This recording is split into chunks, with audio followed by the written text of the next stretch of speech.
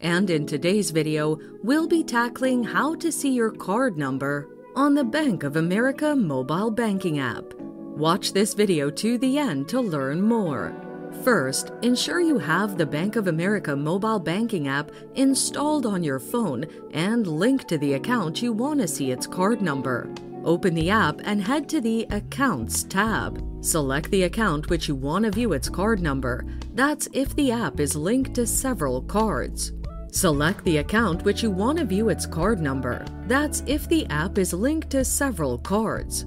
Select the View Account Number option on the Account's Action menu.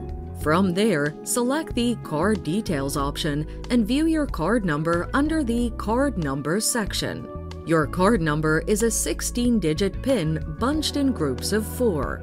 If you encounter problems finding your card number with the app, you can access it online through the Bank of America website or contact the Bank of America customer services for assistance. And there you have it. Finding your debit card number on the Bank of America app is that easy. Thanks for watching. Till next time.